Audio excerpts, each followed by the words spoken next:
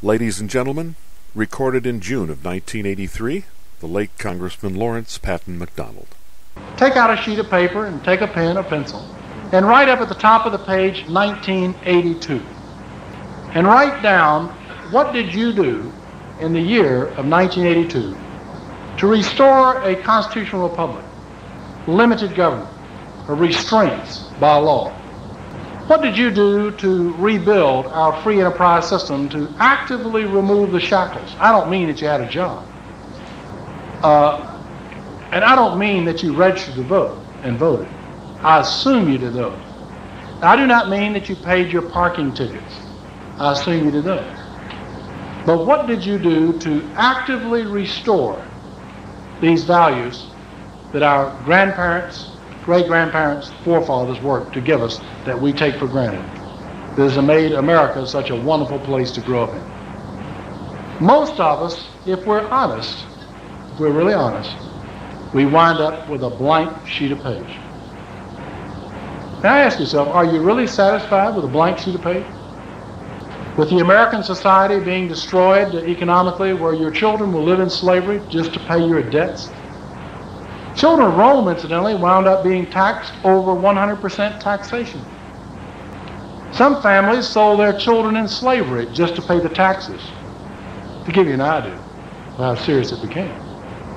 And I'm not so sure that we're so far behind in the enormous burden that we're handing our bright young graduates today, saying, Merry Christmas, get a job, work hard, because you're going to pay the debts for the bills, for the monies that we have spent long ago. Let me urge you to get involved and ask you, if you haven't been involved, what will it take?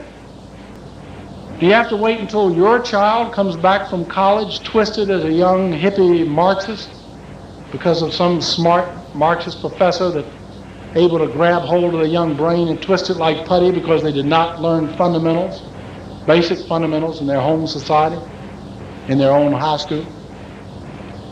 You have to wait until you lose a son in a no-win conflict, as in Korea or Vietnam, before you decide that you're involved. You have to wait until you lose your job due to inflation or government caused inflation or high interest rates. You have to wait until you realize that your church is taking your offering money to support terrorist activities abroad, to burn missionaries and to burn uh, down missions. To some Americans, I think they will have to face some personal catastrophe before they're willing to face up to the fact that they are involved. I would urge you tonight to Remember that organization is the key.